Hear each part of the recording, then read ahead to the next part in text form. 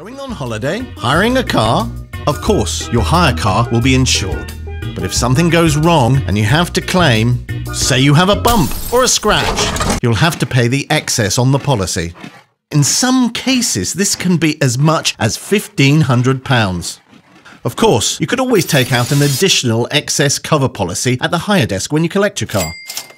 But you'd have to pay their commission. And would you buy an insurance policy that didn't cover the windscreen, the interior, the tyres, the underside of the car, or even losing your keys. No, neither would we. That's why we've developed the Car Rentals Excess Policy. From only $4.99 a day, it will cover all this and can work out up to 60% cheaper than competing policies from the rental desk. This could save you up to £75, which you could then use to spend on something much more fun. Car rentals.